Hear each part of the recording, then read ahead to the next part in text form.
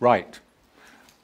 We're vaguely going now until Zuhr time, okay? And lunchtime. So we'll see how we get on. We're going to switch now. So try and get a new page in your heads. And now we're going to look at the New Testament. Now, the New Testament is the scripture which is specific to Christians. In other words, the Jews don't touch it. These are Christian writings. Secondly, the only scripture that the authors of the New Testament knew was the Old Testament. Okay? So they are writing about the faith of the early Christian community. And I'll explain in different ways how they're doing that. But when they talk about Scripture, as Scripture says, that's the Old Testament because that's the only thing that is accepted during this first century as scripture. It, it's only into the second century that Christians begin to say, well, now, these Gospels that these guys have written, they ought to be put, as it were, on the same shelf as the Old Testament. So that's when we start to talk about Old and New Testament. But we're going to, first of all, we've got to get them born before they can grow up and walk.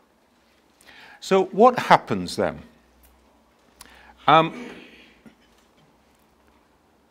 the Christian community, or rather the Jews who walked around with Jesus, experienced him.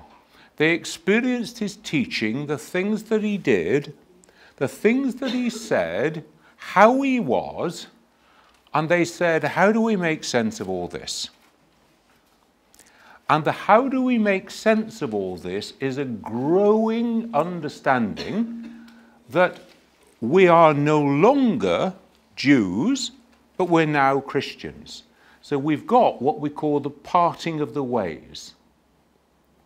Um, how is it that we are following Jesus and therefore Remember, they're not called Christians until much later. They're called the followers of the way of Jesus.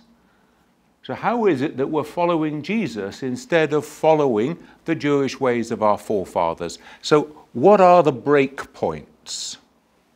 And that's something that we're going to look at in more detail this afternoon when we come on to trying to talk about Jesus. Where are the break points that separate us out, the parting of the ways? Secondly, it's not just the teachings of Jesus and the things he did when he's alive, but two fundamental events take place after the death of Jesus.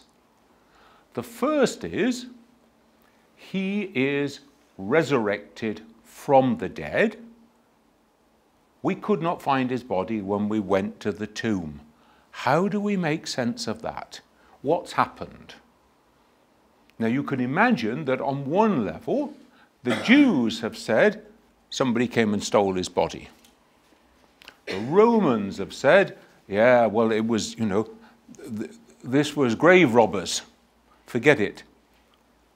The believing community said that doesn't quite square. Well, what is going on? And then they start to get experiences of Jesus appearing. He meets them. And of course, they're dead afraid to start with. What's going on here? So they meet him again and again over a period of time, and they begin to understand the event of the resurrection. Now that changes their perception because we thought he was dead and, and he isn't. And he's not pumped up. You know, the Quran talks about Jesus raising people from the dead. The Bible also talks about Jesus raising people from the dead. What he's doing there is raising people back to this life. It's what I call being pumped up. You can imagine you're dead, you're buried, along comes Jesus, calls you out of the grave, and you're pumped up to come back to this life. And the first thing you say to Jesus is, I suppose you think that's funny, do you? Yeah?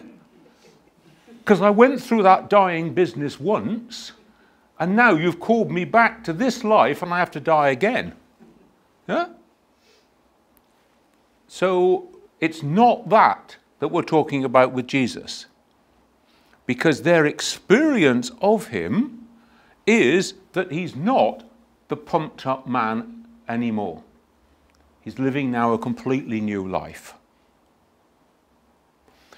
The second experience that completely changes their life, you can imagine. You have spent a period of months or years following Jesus, thinking that he was going to revolutionize the whole game, and then he's captured by the authorities, and you think, don't worry, he'll, he'll escape, and he's executed. And your first thought is, well, they'll come for me next week. You know, they're going to clear us all out after this. That's what, you know, that's what we would do in modern warfare terms. Clear them out.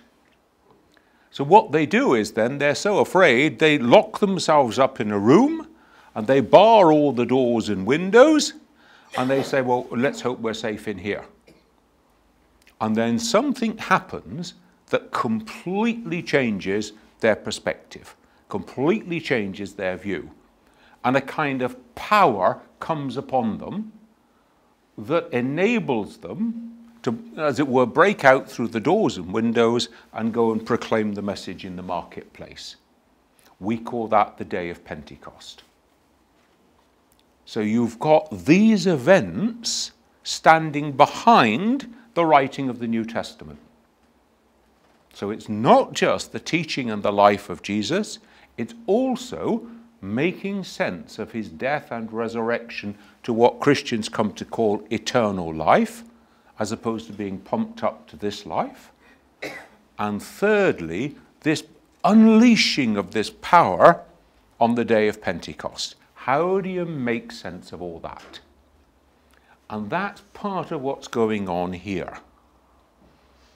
So, the first thing the early Christian community do in the first few 20 years, let's say, after the time of Jesus, is that first of all, they continue to meet in the, Jew, in the Jewish temple, and then they gradually break from Jewish practice, they break from synagogue meeting, and they start meeting on their own. And when they meet on their own, they not only read the scripture, the Old Testament, but they also start to compose hymns of their own that try to express their faith. So the first writings that we can call Christian writings are these early hymns. And this is coming around the years 30 to 50. We don't know exactly when. There aren't many of them, but there are quite a few. And they're important because they are the earliest capture of an expression of Christian faith. And then onto the scene comes a guy called. well, they're often incorporated. They're never there on their own. But well, some of them are included in, in letters. Some of them are included in the Gospels, more in the letters. And you get formulas you know? Um, you, you, get, you, you don't just say, you know, uh, you don't just say blessings of God. Yeah? You say barakat Allah. So you get a formula which then you know comes into all your discourse. So after that, every time you want to say blessings of God, you'll say barakat Allah. So the same thing happens that you get formulas at this period which are then woven into all the stories later on. But these are, as it were, the first deposits. Now, we identify them, scripture scholars identify them by, you know, you can tell from the literary form. If suddenly somebody starts copying out the words of a hymn or a song or a, a poem or something, it breaks into the run and the flow of the rest of the text. So that's the way that you identify them. In uh, which language? Uh, Greek. And that's important because the whole of the New Testament is written in Greek. Jesus does not speak Greek, Jesus speaks Aramaic. So when we come to the Gospels, we'll examine how we get from the lips of Jesus. But before we get there, the first formal lot of writings are a group of letters written by a man called Paul. Now, this Paul is a Jew. He is uh, assigned to, to hound the early Christians, to persecute them, capture them, bring them back, and have them put on trial as heretics. And something happens in his life. And the way it's told is that he's on his way to Damascus, a blinding flash of light, as it were, hits him, strikes him from his horse. Um, he's blinded, and he's told, Go into the town, I will send somebody to you, and, um, you know, and then things will become clearer. So, this is the first bit of his conversion experience, in which he changes from being a persecutor of Christians to becoming, we can say, the, the first real theologian of Christian faith and writing. Now, this conversion takes place around about the year 33, 36, about that period. Jesus is dead. Paul never meets Jesus. So the question is where does he get it all from? Because he hasn't got it directly from Jesus. After his conversion, he then you know, has his sight restored through a Christian who is sent to him. And then he goes off into the Arabian desert for a period of a few years. And at this stage, he is trying to work out the experience that he's had, how you square it with the scripture that he knows, which is the, the Jewish scripture, the Old Testament, and what this means about Christian faith. And then he starts interacting with Christians, hearing from them about their faith journey, about what they know about the teaching of Jesus, and he starts building and refining his understanding of Christianity. He then understands himself to be a kind of dai. You know, he's a missionary. He goes off to take the word to people. He goes off proclaiming the message. Now, gospel means good news. So he is going to proclaim the good news in all these different communities, in Greek, Greek speaking communities. Many of them have Greek speaking Jews, but most of the people who listen to him are what we would call pagans. They are followers of ancient Greek religious traditions. You know, they could be worshipping the Greek gods, they could be worshipping the emperor, whatever.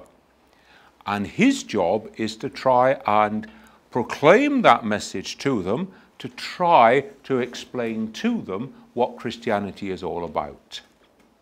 And he does that by writing letters. Now, often these letters are responses. You know, hey, Paul, tell us something about the Christian faith, and he writes them a letter. Or somebody else comes and says, Hey, Paul, we've got a whole load of problems going on here.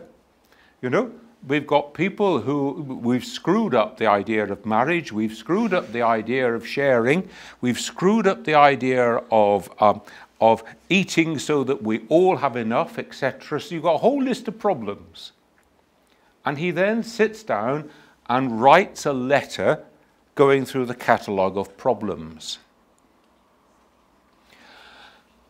we have,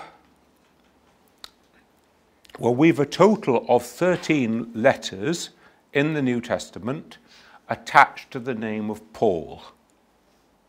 Now,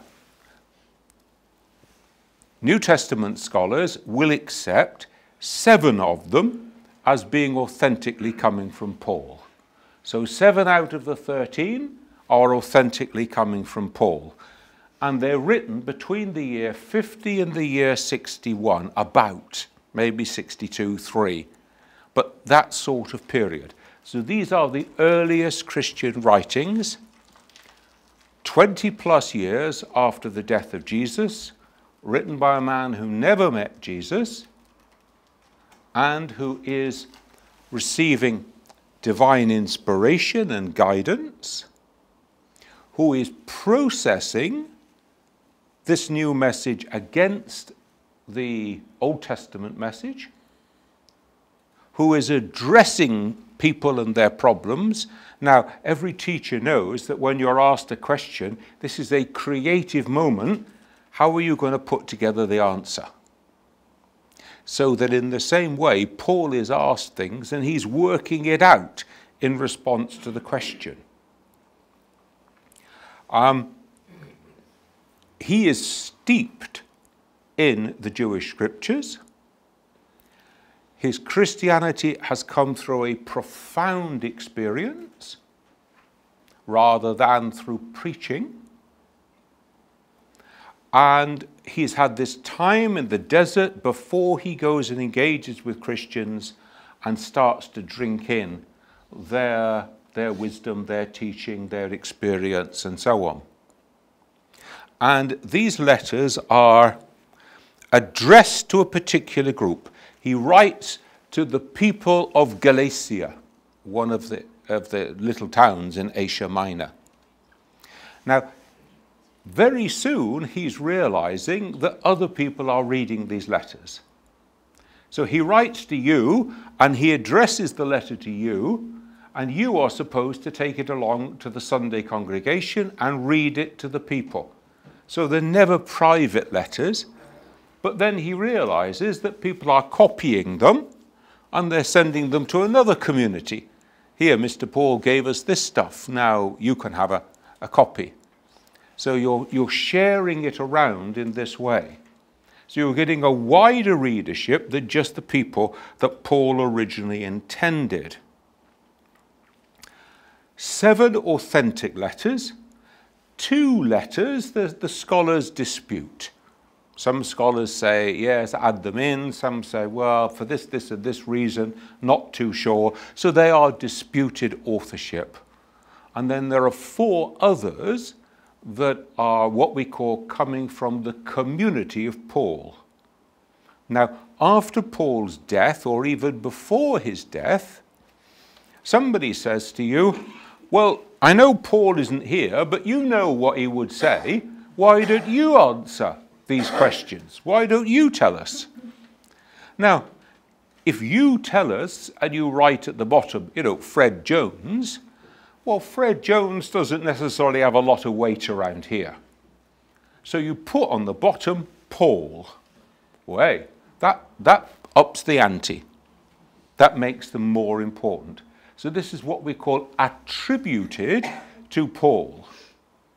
But they're coming from his community. So they're not coming off the wall. These aren't Beano writers. You know, they're coming from his community, responding, if he were here, this is what he'd say. So these are the, then the first 13 of the 27 books of the New Testament. Pauline letters. Pause. Anybody want to jump in here? Yes, sir. Uh, could we have the machinery? Just a sec. Because otherwise, they'll think I'm making up the questions. Thank you. So, um, did um, did Paul speak Greek? Yes. Or okay. So, um, and did he receive divine revelations or inspirations from any higher power? he certainly didn't receive, as in Tanzil, text being sent down to him. But he does receive divine inspiration. Now, what this means then in Christian terms, different Christians will understand this differently. Some will take this in a very narrow sort of sense. It's as though God were guiding the hand that holds the pen that writes the words. And sometimes you will see ancient works of art, and there's the writer, and there's an angel sitting on the side, whispering into the ear. So it's that sort of.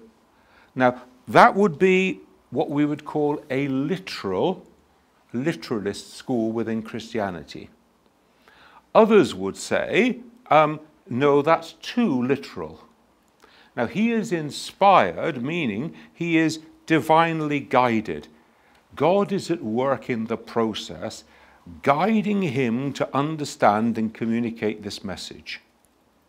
Um, and in this way, the message is of a higher level to me writing, but it's not on the level of Tanzil, a text that's sent down to him. People would not accept that. Therefore, it's Paul who's doing the writing. Now, that becomes important, you see, because he's a man. He's a man who lives at a certain time. He's a man who lives at a certain uh, culture, a certain atmosphere. So we get things there in which, you know, he's saying stuff about women, for example. Women should be silent in the assembly.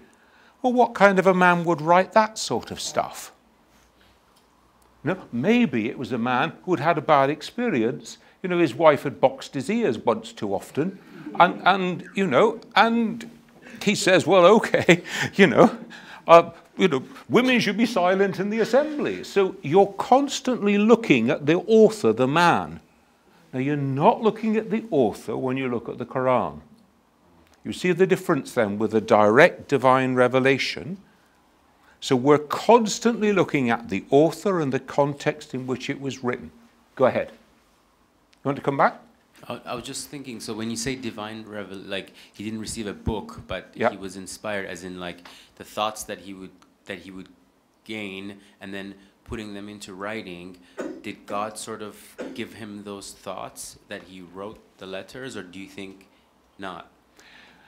It's, I think it's, it's not quite as mechanistic as that. Um, it is in the nature of human beings, whenever we have a profound experience, this experience always tries to formulate itself in some way. I am deeply in love with my wife. Write me two pages to explain why you're in love with your wife. Not so easy. But I know I am. But a profound experience has somehow to be articulated. Somehow it has to be expressed because it's not just for you, it's for others. So Paul's job is to express that and share it with others. So it's experience first of all, and then, you know, we surely we've all had that moment when suddenly something clicks. We say a light goes on. Aha! I know how I'll answer that. That's this kind of inspiration. Now we get that in teaspoons full, and Paul gets it in buckets full. So it's that sort of thing that God is doing in, in the life, in the heart of Paul. But it's still a human author. He is not taking dictation from God.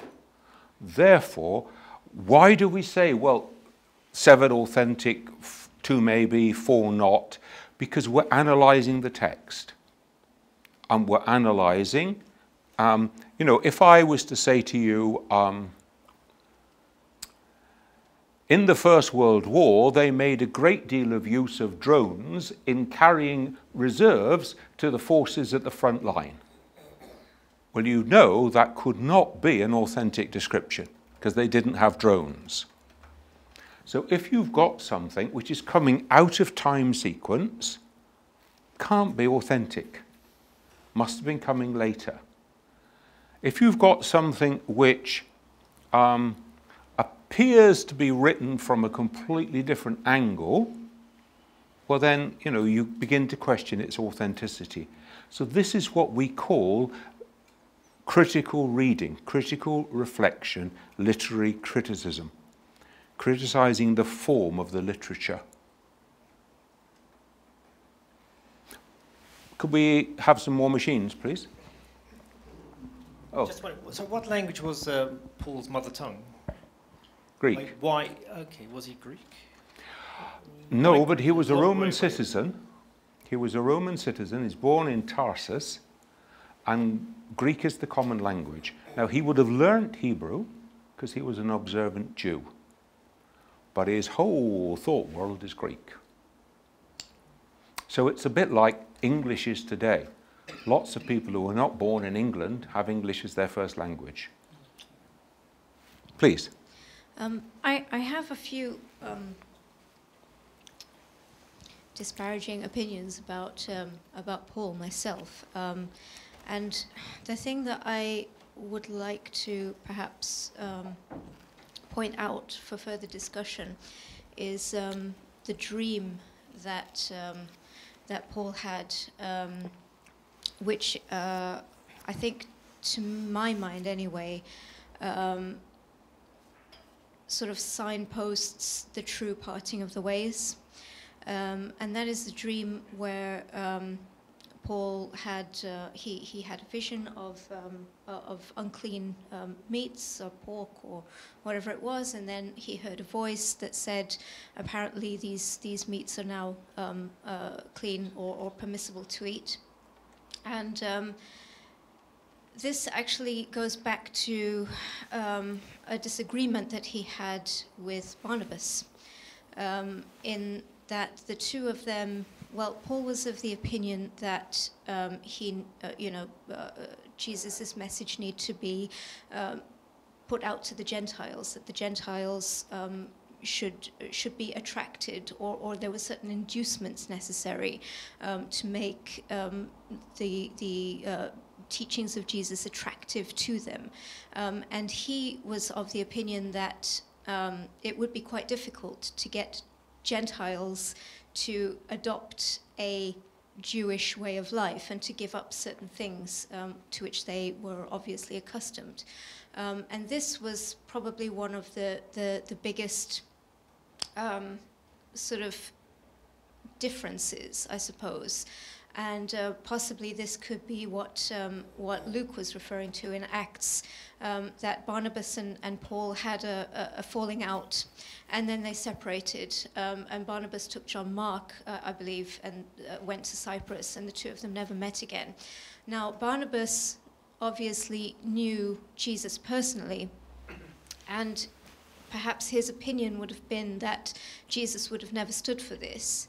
Um, Jesus, being a practicing Jew, um, having you know followed the, the, the law of Moses, um, never having touched unclean meats, um, being pure, and, and, and so on. Um, and this obviously would have been a, a, a huge difference. Um, and, and that's always my question. Did, did, did Paul take Christianity in the right direction?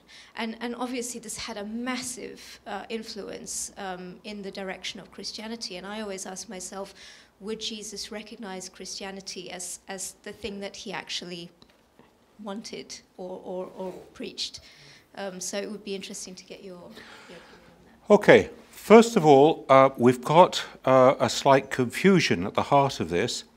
This dream of animals coming down and they're all declared clean, take and eat them, this isn't Paul, this is Peter.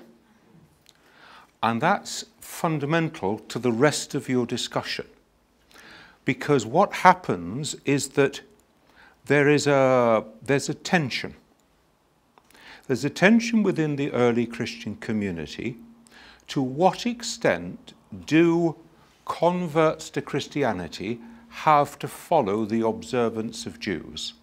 Not just in terms of dietary observance, but also in terms, let's say, of male circumcision, um, of observance of the Sabbath, etc. To what extent do you have to, as it were, become a Jew in order to become a Christian? And the Jerusalem church, which was headed by Peter, this community in Jerusalem, were much more of the view that uh, uh, we're, as it were, we have a closer relationship with Jewish observance than Paul and his view, which is much more worldwide Greek, as it were. Now, the reason for that then becomes important because if anybody was going to say, well, this story of the dream and the thing was, um, was a false experience, this is coming to Peter, and Peter's you know, deep into this Jewish observance group. Therefore, if he could have got out of it, he would have done. Uh, so that's one thing. Secondly, there is a big discussion that goes on to what extent is this a message only applicable to Jews and what extent is it applicable to all humankind? And um, there's, there's a tension in the early Christian community in the first few decades. In the early Christian community of these decades, there were lots of different groups. Some of them were much more observant of what we, we call them sometimes Jewish Christians. So they were wanting to keep a much closer Jewish way of life than others that we sometimes will call Greek Christians. Now, the Greek Christians could also be Jewish background, like Paul. But they were, they had a wider focus, as it were. And you're right in saying that Paul moves into that Greek speaking diaspora, while Peter and James and, and uh, Jude, these guys uh, really are focusing on the Jerusalem based Jewish Christian community. And that's one of those tensions. Uh, history shows that, as it were, the wide worldwide focus is the one that, that proves to be right because the other one withers and dies. So there were various different groups in that early Jewish Christian school. Um, and Peter and the others recognize the authenticity of Paul's message, but they say, right, well, you go to that group over there and we'll go to this group over here. Um, I think it's, it's dangerous to it's dangerous just because we have a, a name to associate that must be the same person. So Barnabas, for example, there are quite a lot of, of people around called Barnabas. Now, you know, he may or may not have been um, a direct disciple or, or, apostle of Jesus. Uh, but it's always a slightly problematic. Certain people were sure of, and others well, somebody of that name was. It's a problem with, with earlier history. But you're right in saying that this is one of the fundamental factors in, um, in not following Jewish observance. And that keeps coming back into Christianity over the centuries. So we get, you know, the, the, in Britain we had the British Israelite movement of the 17th and 18th century who were wanting to go back to Jewish laws. Then we get the you know, Seventh-day Adventists today and so on. So it keeps coming back in history. It's one of those tensions with which we have to live. Please. If I remember it right, um, when Paul went to see Peter and the others, they actually they wrestled with this and they, they then agreed as to the just a few limited things mm-hmm. that um, people um, coming to follow Christ needed to keep rather than having to keep the whole Jewish law. Yes. Yeah. N- not eating food sacrificed to idols, abstaining from blood, that kind of thing. Yes, absolutely. So there were there were certain basic agreements, and then after that, you know, you have a, a diversity. And there's diversity within the Christian community from the beginning, really.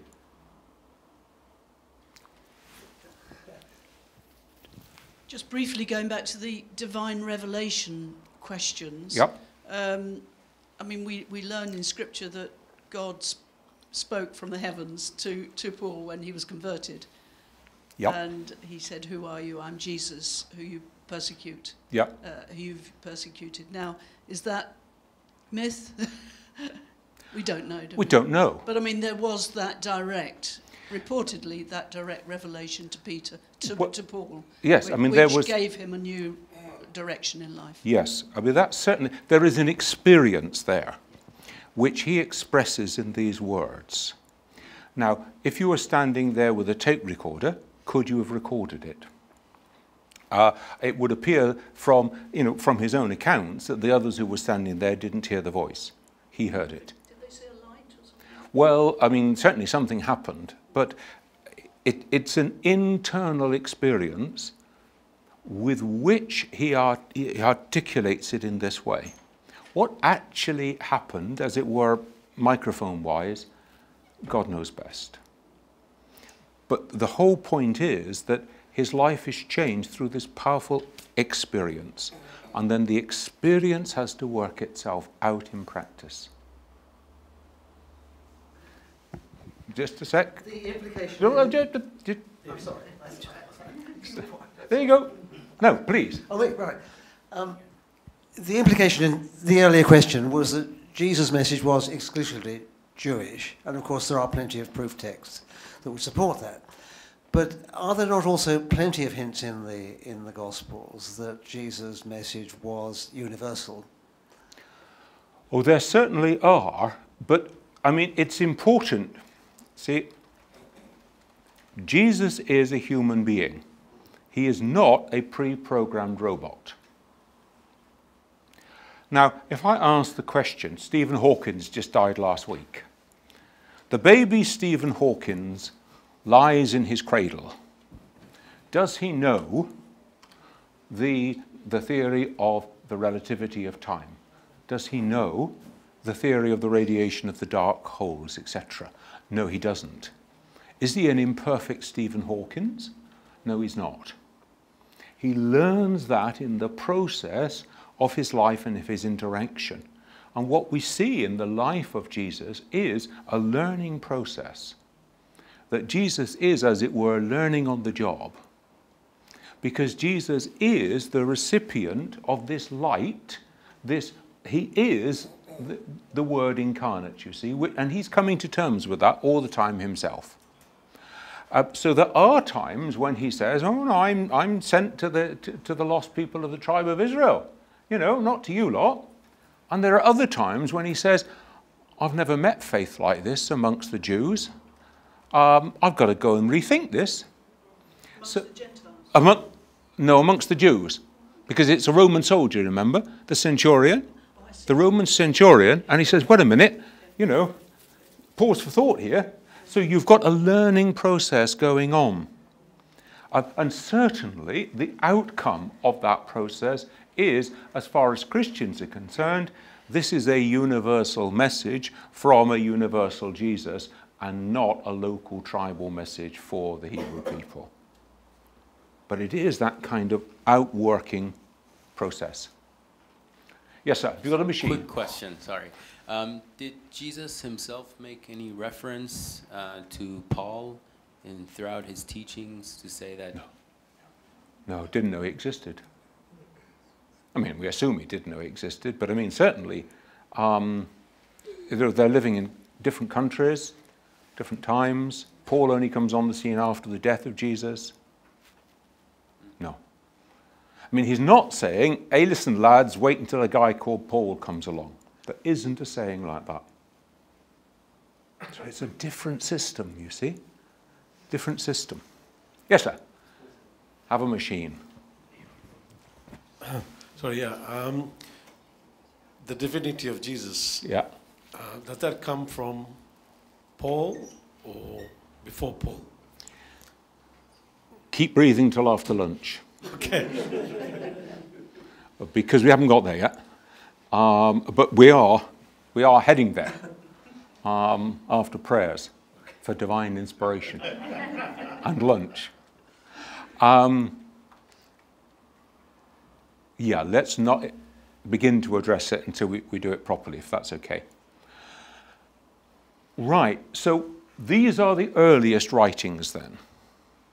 Now, the next group of writings, Gospels, the word gospel means good news. So this is the good news lived, proclaimed by Jesus. So he is the gospel.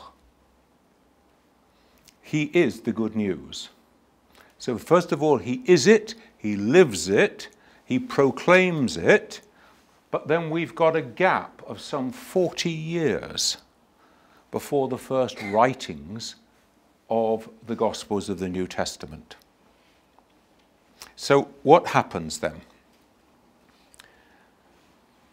You could imagine, just as Prophet Muhammad is going around within the community, people believe that he is a prophet sent by God. They're kind of still working out what that might mean, but nevertheless, they accept him in this way well, it's beyond the realms of stupidity to think that they didn't take notice of what he said, that they didn't take notice of what he did. And so you have got the, the generation of sayings about what Muhammad said, about what he did, people are noticing.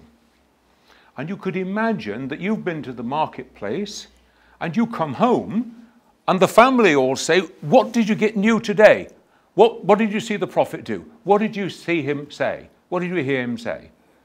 And so you've got this oral tradition building up of things that were said, things that were done, experiences that were had. The same then happens also with Jesus. So there's a bunch of people who are going around with Jesus. They, they see, they hear, they experience his life, his teaching, who he was, how he interacted with people. They experience the things that he did, the things that he said, his teaching, and they drink all this in and then they repeat it. Now, Jesus taught very often through the use of stories, parables. Now, a parable is not a nice story like, you know, a fairy tale or something. A parable is like a prophetic saying. It's supposed to spike you. It's supposed to really make you think. Now, if you get a saying that is, you know, really supposed to make you think, you tend to remember it. You tend to, it sticks in the memory, you pass it on to people. So we've got then the development of this oral tradition, as we say. So you've got a whole pool of sayings, accounts, teachings, actions, how Jesus was, what he lived like, and so on, which is, which is there in the early community. You don't have an isnad. That's a difference. But it's there within the community. So the community are the guardians of the teaching, the life, the being of Jesus. So when you get people who come to write a gospel, these gospels are they're not historical accounts as though you were sitting there like a war correspondent. They are theological accounts of the life and teaching of Jesus, the things he did, the things he said, drawing from this oral tradition but putting it into a certain form in order to convey it to a certain group of people. Now, the way that you would convey that to a group of Palestinian Jews might be different from the way that you would convey that to a group of Greek speaking non Jews. So, your target audience affects the way that you put the material. For example, if you're writing, if I was writing to Muslims, and I would say, you know, and the Prophet made wudu before his prayers. You all know what that means. I'm writing to non Muslims, I would say, and the Prophet made a ritual washing before his prayers, which included the following, and this was the customary practice of the Prophet and of his community afterwards. And then you'd carry on. So the, the target audience affects the, the way that you put the story. Right. If I was saying to you, um, when you build the new Salam Centre, you're going to have to get in some really expert structural engineers to go down very deep and drive piles into the ground, and then you'll have a solid foundation for your new building. That's a very 20, 21st century Western way of building buildings. If we were talking in an African village, and we were saying, you know, in order to build your new mosque, you've got to lay a good foundation, we'd be talking about choosing the right piece of ground, making sure that it's well beaten down and well hammered before you, you start your building. Because the building techniques are very different. So, what would happen is then Jesus gives an, an example. He says, You have got to lay firm foundations for your faith. Otherwise, it's go- not going to stand. So be like a builder. When he builds a house, he finds a good flat piece of ground and he builds his building on rock and not on sand. Now, this is not Architecture 101. This is how you are to found your faith. Now, I have to convey that message to another group of people. They don't build like that. They think I was off the wall if I went on like that, because they're not in Africa, they're in London, 21st century. Now I've got to give the same message. So I say, when you're going to build a building of that sort, you've got to really dig down to solid bed- bedrock, and then you've got to sink piles into the rock and put in your reinforcing bars, and then pour in your concrete, and then your. But the message is exactly the same your faith must be founded on a solid foundation. Now, when the gospel writers come to write, they are writing to a particular audience. And if the message would be distorted, as it were, in the way that Jesus spoke it, if the message would be distorted, if you just copied it the same way to another audience, they change it. And the example I give about you know, laying a good foundation when you're building the foundations of faith is exactly a message that is contained in the Gospels. Matthew, writing to a Palestinian audience, spins it one way. Luke, writing to a Greek audience, spins it another way. But the message is exactly the same. And what you're doing here is changing the actual words of Jesus in the Gospels in order to keep the message the same. So you see, we're, we're not into the world of Tanzil here. We're not into the world of a text that drops from heaven. We're into the world of a text written by human beings under divine inspiration, working with the teaching of Jesus, written at a particular time to a particular people in a language that Jesus didn't speak so always you're translating. Whatever Jesus said, you're choosing the best word in Greek to explain it. Please, can we get a microphone? Thank you, sir. Just one sec. Thank you. Um, so, I have a question, and so, if, so who are these people? Mark, Matthew, Luke, and John that wrote the Gospels. Mm. Now that's, you know, that would make me a rich man. um, these are names attached to those Gospels, the first thing. Secondly, notice 40, 45, anything up to 60 years, 70 years after the death of Jesus. So these are not eyewitness accounts it's not necessarily clear at all that these authors actually were eyewitnesses to the Palestinian Jesus. You know, they'd have to live a long time if they were. May have been, we just don't know. Secondly, these are oral traditions that are gathered together. So the oral tradition may go right back to the lips of Jesus, but it's gone through decades of transmission first. Um, Thirdly, these are edited and re edited. So you've not necessarily got everything flowing from the same pen. Sometimes, you know, another bit might have been incorporated by somebody else. Um, we don't know. I mean, there are people, there is a guy called Mark who appears in one of the stories, whether it's the same Mark or not, Allahu Alam. You know, there is a guy called Matthew, whether it's the same Matthew or not, Allahu Alam. Uh, you know, we just, you know, there are things we don't know.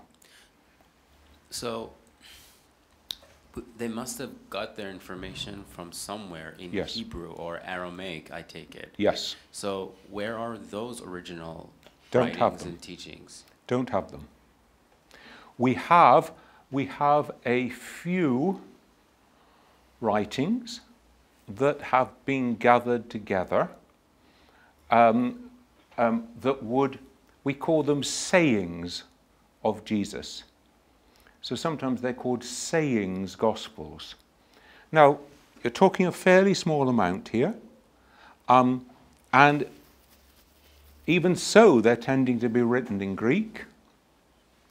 Uh, so you've not got, you know, you've not got the, the, the reporter's notebook, as it were, or the policeman's notebook.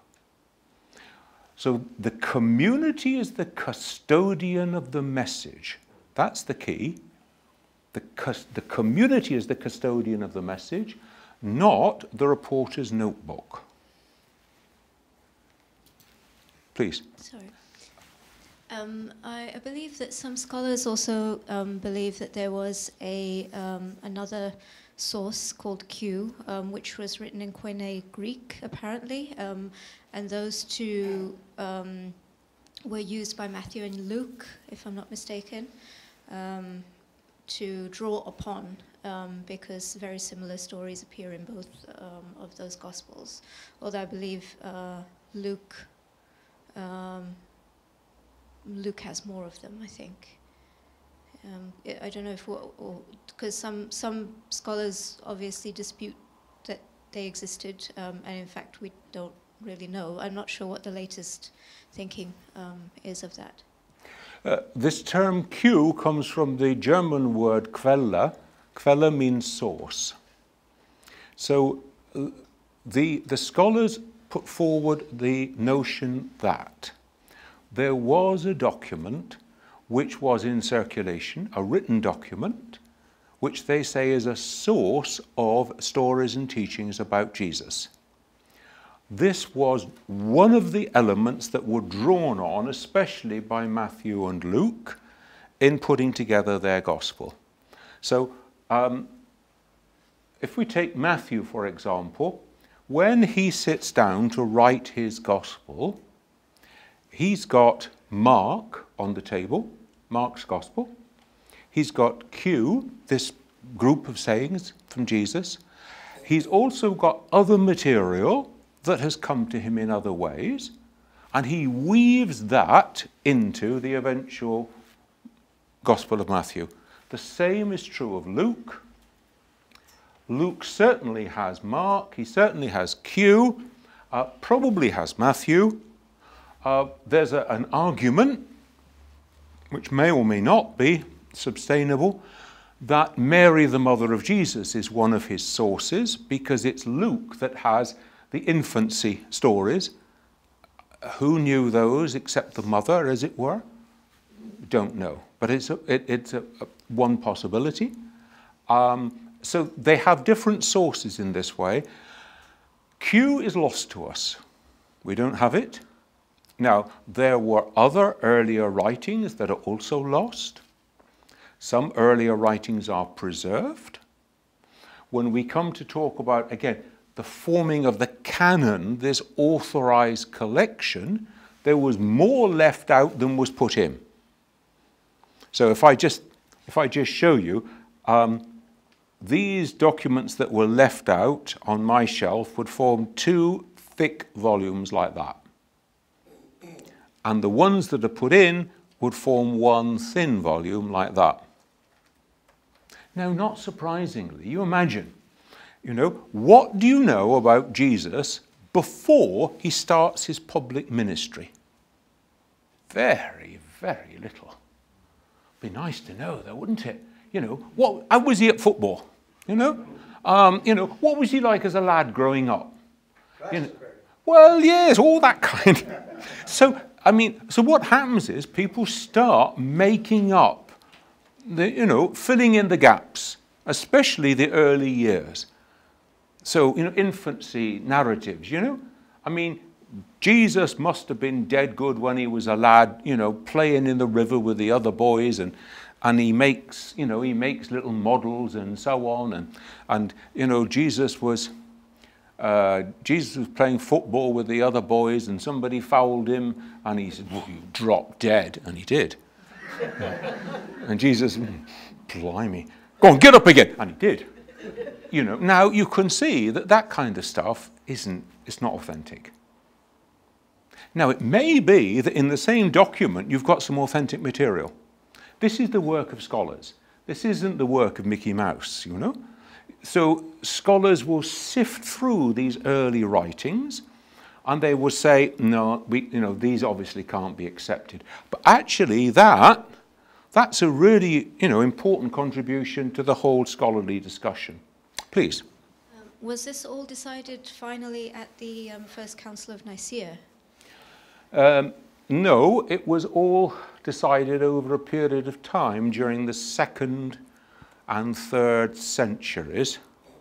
Um, it is kind of formalized uh, in the fourth century, but um, the four Gospels, for example, are accepted in, certainly by the middle of the second century, and the others are left out.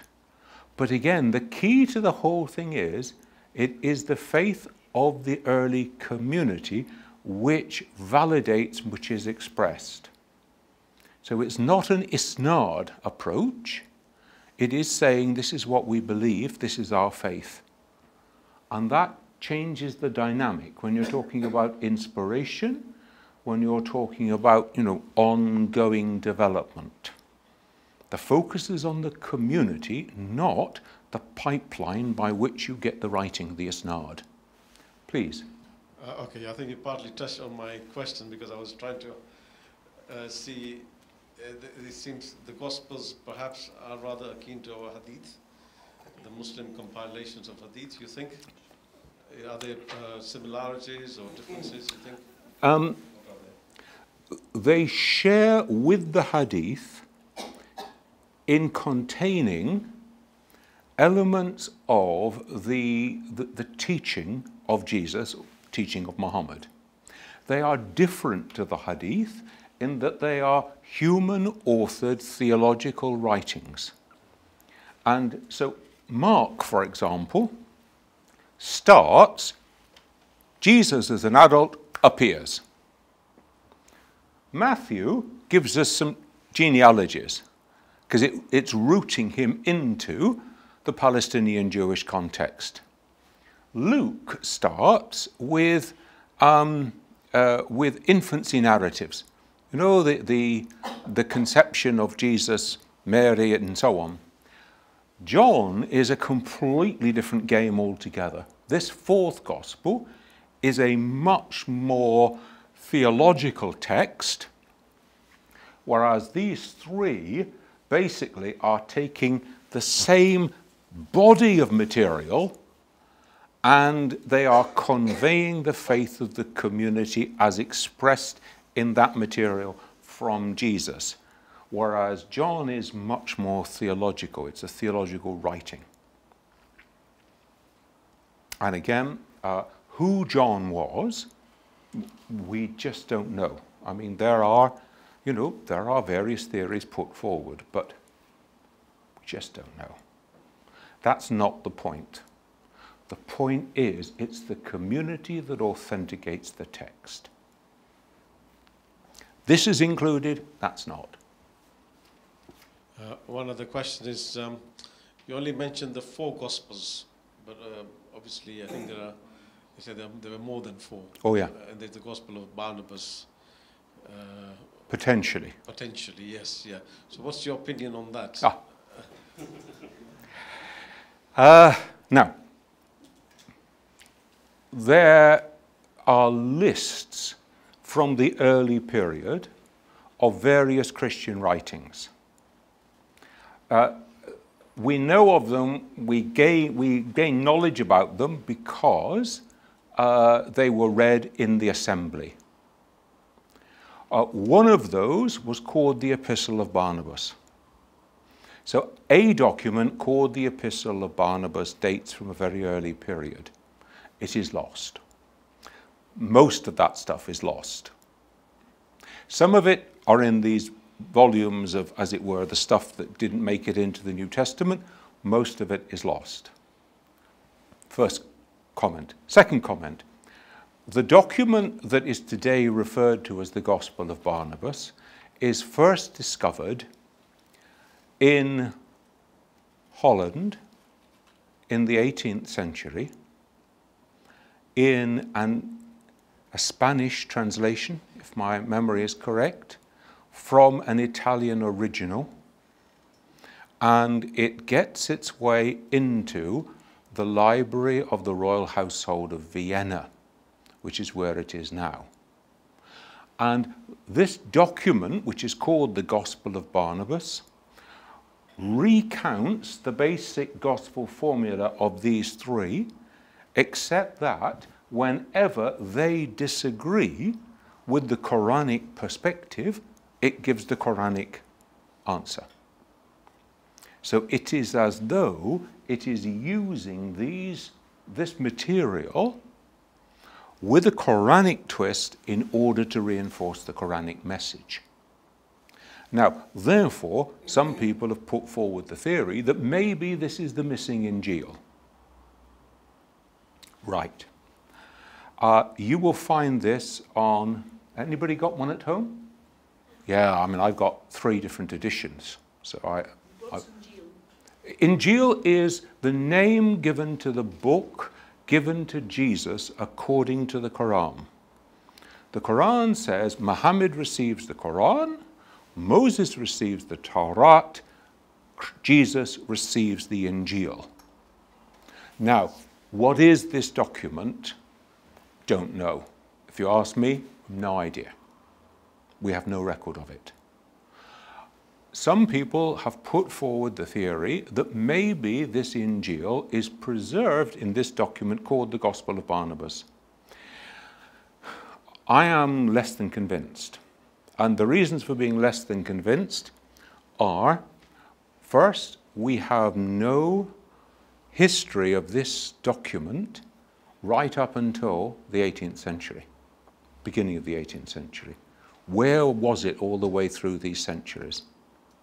Number two, um, if you do a linguistic, not you, you and me, but if you're a, a linguistic scholar, if you do a linguistic analysis of this text, which has been done, then the result is that it was written in medieval Italian, which is probably not what Jesus or Barnabas spoke.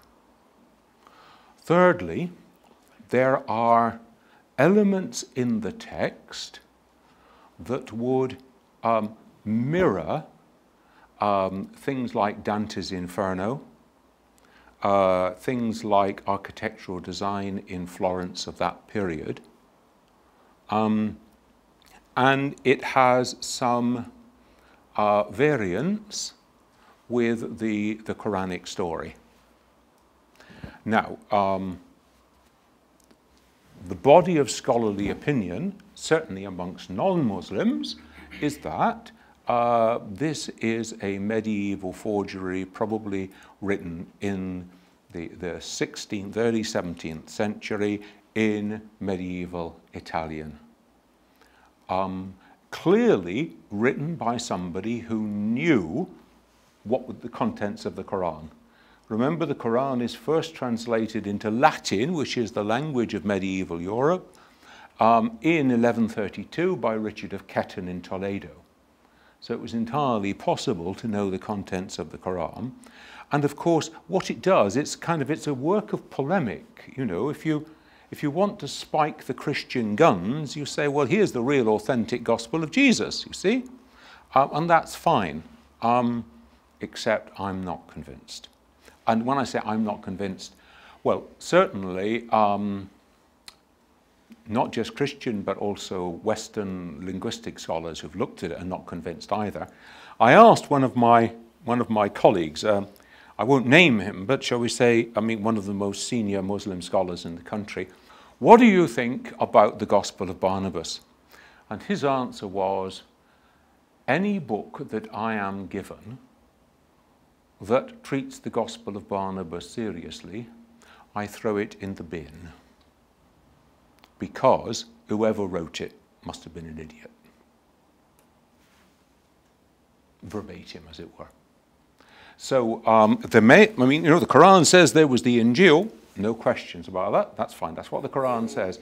Whether the Injil is the Gospel of Barnabas, as in this text, what shall we say? At least the jury is out. I think the jury has come back and said it's not. But nevertheless, um, you know, it's a very interesting text. But again, it's widely distributed. You can find it in different editions, in different languages, because it, it it's a feel-good factor. Oh no? Hey, this is it. We've got the real Injil given to Jesus, and the Christians ain't got it. You know, and it doesn't have, I mean, every time that, you know, all the, the, the connect point of the, the um, all the points at which the, the Quranic and the Christian stories differ, it, you know, they're crucial. They're not little things. So Jesus is not crucified to death according to the Gospel of Barnabas. Jesus announces in the Gospel of Barnabas, you haven't seen anything yet. Wait until Muhammad comes. Uh, Jesus calls together the lads and says, Listen, there's nonsense being talked. People are saying, I'm the Son of God. This is rubbish. So it, and these are really serious points. And if it was true, well, you've just cut the ground out from Christianity. So, you know, it's kind of important. So, Steve. what do you mean by the, the community authenticates Yeah. the um, Gospels? By that, what I mean is somebody has got to say what gets into the New Testament and what doesn't. And you've got, well, literally hundreds of early documents floating around. What are the criteria by which you make a judgment? First, they have to go back to the very earliest period, to what we call the apostolic age. They've got to go back way into the first century. Secondly, they've got to be widely accepted by Christians as being authentic. Uh, and thirdly, there's got to be a, a continuity of, uh, of deposit, you know? You've got to have had the text around for a long time from the early period. That's, those are the criteria. Who's making the judgment? It's the Christian community. How do they do that? They do that through their leaders, their bishops, their scholars, sitting in a kind of solemn uh, council. And in this solemn council, they pray and invoke the guidance of God. They hammer out any points at which there are differences of, of understanding and agreement until they eventually end up with an agreement and they say, these 27 books get in, the others don't. That's what I mean by the community. So like guesswork. Well, you may say that's guesswork. Um, I think that that's, first of all, that's the work of early scholarship. And secondly, it's the work of divine guidance. Because there's a lot of competing interests. Oh, yes, yes, yes. Know, Uh, I want to get my opinion about this, Yeah, yeah. which is not very spiritual. Well, if you want to get your bit in, I mean, the likelihood is the rest of us are going to chuck you out, as it were. So you've got a refining process going on. Oh, well, yeah, I mean, you can bribe them. I mean, look, at the end of the day, uh,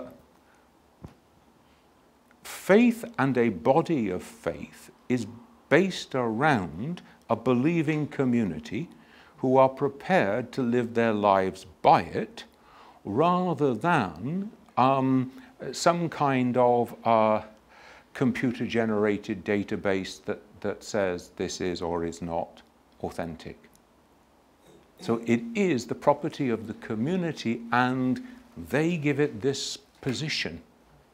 Now, with good reason, I mean, the criteria are not a joke, and they research it very carefully, and they exclude much more than they include. But at the end of the day, it is the responsibility of the community through their leadership system. Now, you can imagine then that when the Quran says they've taken their priests and rabbis as lords before God, then you can see that, well, maybe this is an incident of it. Yep, you can see that argument as well. Please. Um, I just want to go back um, for a second to the Gospel of Barnabas, and I just wanted to note as well that the the, the document itself is actually quite a large document. Um, it's perhaps, I would say, a lot longer than any of the other Gospels, and aside from you know sort of its positioning and trying to uh, have Quranic answers and so on. Um, that also there's a lot of new material um, which hasn't been seen elsewhere. Um, a lot of sayings, a lot of miracles, um, various things um, which, as far as we know, there's sort of no other source for. Um, and yeah, I- I'm not really sure sort of what your opinion is on that or, or, or really where it comes from. Um, secondly, also be interested to find out your um, more about the Dead Sea Scrolls um, and um, and this new uh, document which surfaced quite recently, which um, was uh, popular, popularly referred to as the Gospel of Judas. Mm. Um, Yes, uh, I can't say much about the Gospel of Judas. These things are subject to kind of scholarly investigation. Let's see what they come up with. Dead Sea Scrolls are a whole lot of scrolls that date back to first century that were found in caves around the Dead Sea, preserved. Uh, they're nearly all of Jewish origin. Some of them come from the Essene group, that was a particular group amongst the Jews. Uh, some of them are the Essene spiritual writings, if you like, a bit like kind of Sufi texts. Uh, some of them are going back into the biblical period, and scholars work with them and try and authenticate, draw out, correct whatever they have. Um, uh, as regards the, the other material in the Gospel of Barnabas, um, I, would, I would suggest that you've got a compilation of two things. One is, remember that there were lots of these other Gospels that didn't get in in the first place, but they exist. They're in libraries. So you draw on those to pad out your Gospel. And secondly, you know, if in doubt, make up a good story that fits. So, you know, you can, you can do that as well.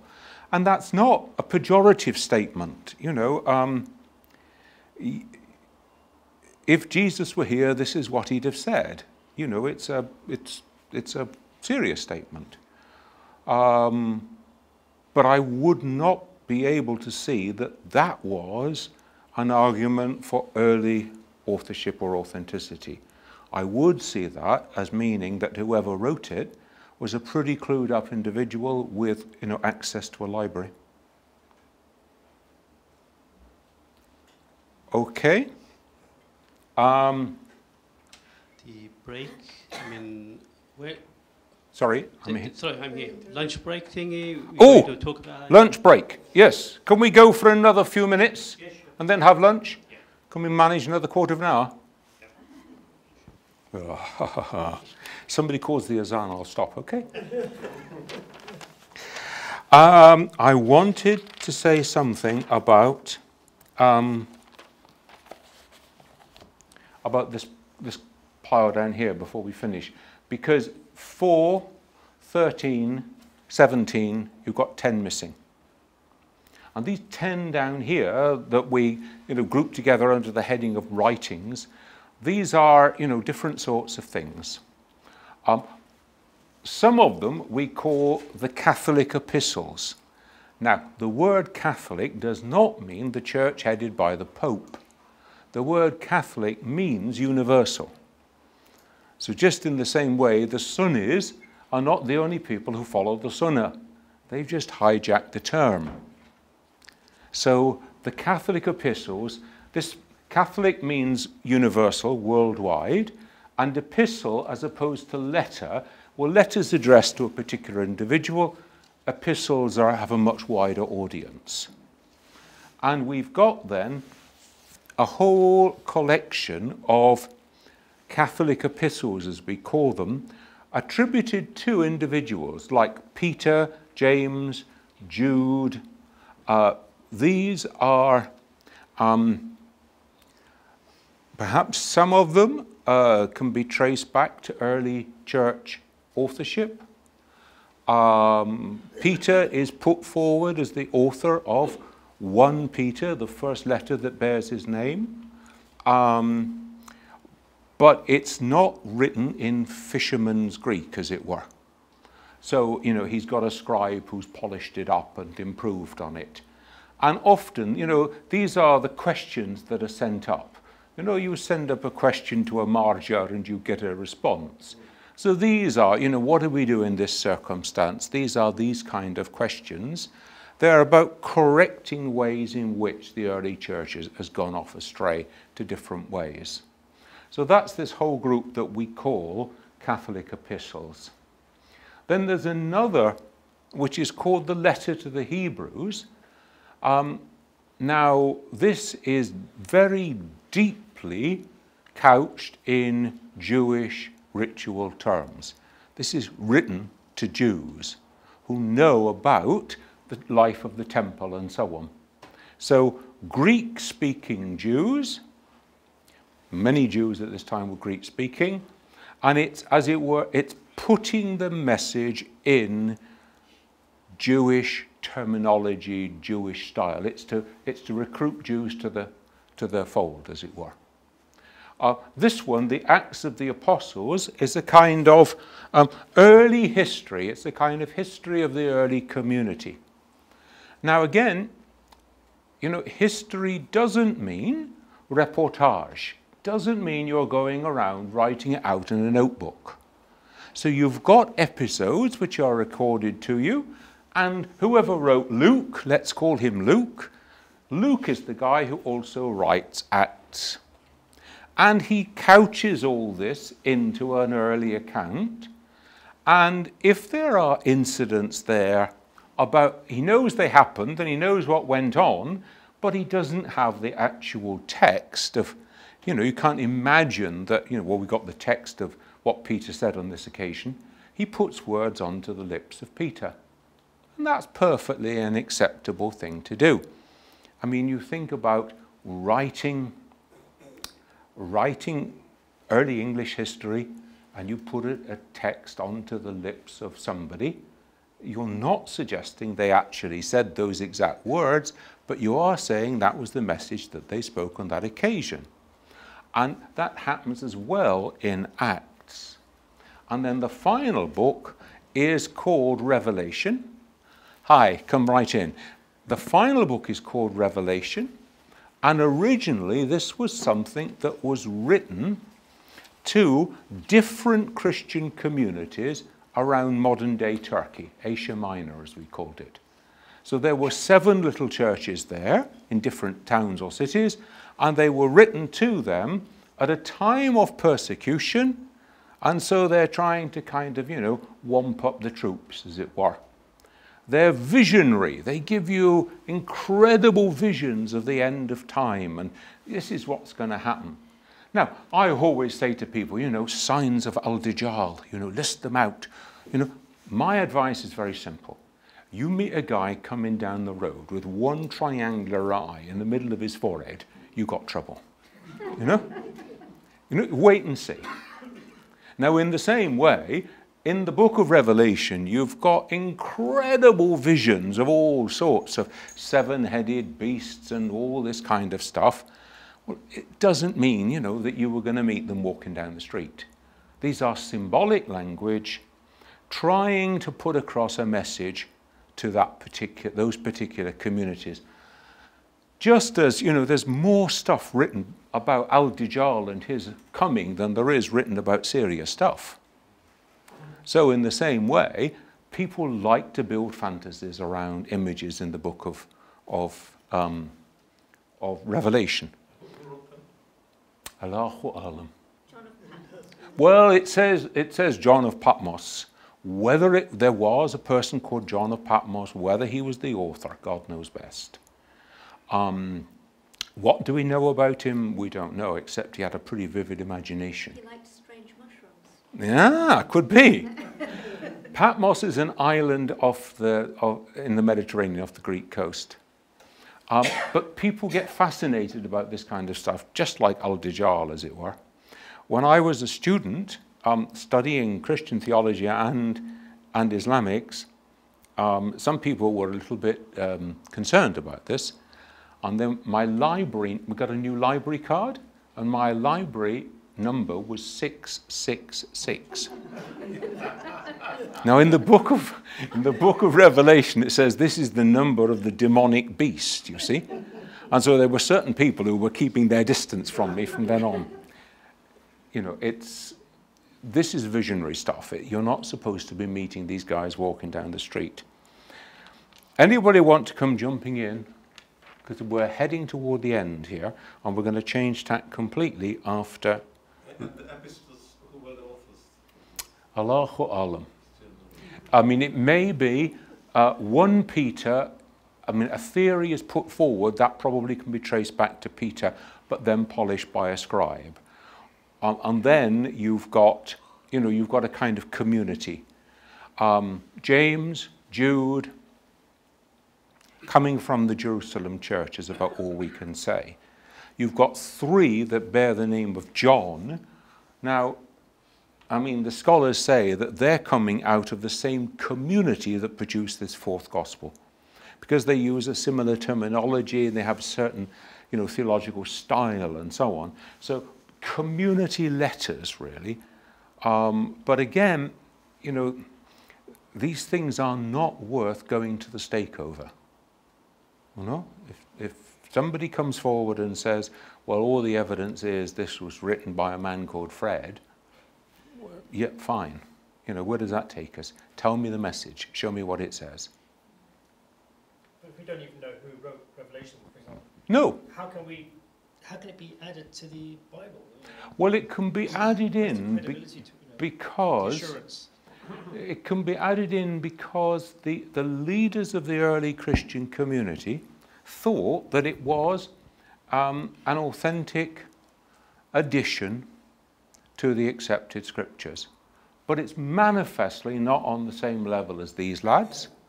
It's manifestly not on the same level as here. So, you know, you've got different degrees of, of importance, let's say, within the library of the New Testament.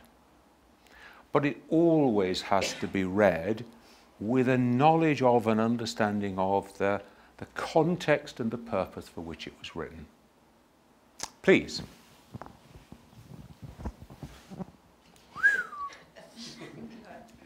Um, is it true that some of the writing in Revelation is similar in style to some of the writings in the Old Testament, like some of the passages of Daniel? Yes.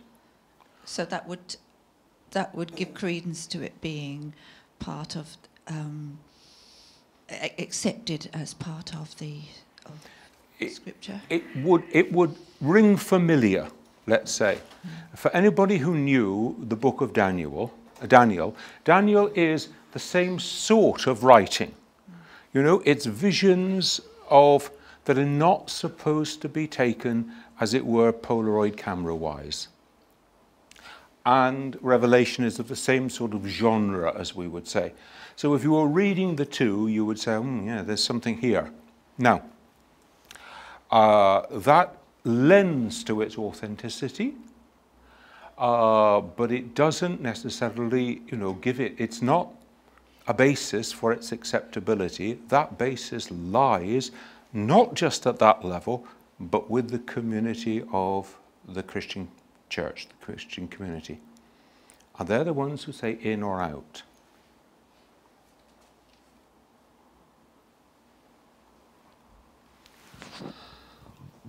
Right. We now have eight minutes to the designated moment of lunch. So you've asked for it, so you get another eight minutes of punishment. No, we had lunch at half 12. Oh, So oh, in that case, we're over lunch. So we'll break for lunch right now. Thank you all very much. Uh, we will resume afterwards when the master says go, and uh, we'll then go and look at uh, the person of Jesus and how Christians have got themselves into the state they've got into about Jesus. Can I have Yeah. more question?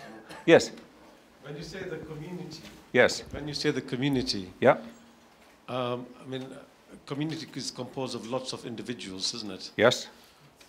So, what do you mean by that? What I mean Are is- there some leaders in the community or Yes. intellectuals? Uh, From the put a bi- name to them. Well, from the beginning, the Christian community forms, as it were, leadership officers. We- could call them bishops. Uh, those leaders meet together and they have the responsibility of taking these kind of decisions. So they would be bishops and scholars who would meet and thrash things out. Um, but that's who they are. It's not a kind of popular referendum, as it were. But they would be bishops and scholars. But who would have appointed them? Uh, is there a The selection? process? community, So there would be like a democratic sort of. more or less. Yeah. I mean, it's, it's not easy to say. But You do have leaders being elected by the local community. And then, you know, you get, as it were, local imams, Yeah. you know, get together and they say, well, he's a bigger wig than the rest of us. So, you know, we'll give him the job of being the mufti or whatever. Yeah. So it's, it's fairly embryonic at that stage, hmm. but it is understood that this is part of the kind of structure of the early Christian community. See, Jesus has an inner group of 12 who go around with him. Yeah. And he chooses them because of their, their character, their quality, their, their whatever, and then kind of, you know, teaches them and leads them on.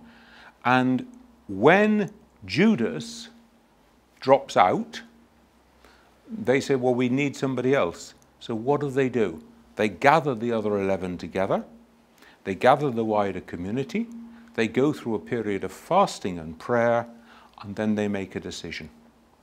And that's the kind of model. It's like the model of, of, of Peter and Paul and you know Jewish or non-Jewish practices.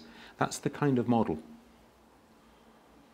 So you don't have a kind of imamate type model, but you have something rather more than a kind of caliphate model, in which you know money does play a role, as it were. Thank you. Okay, Thank you. lunch. Hooray!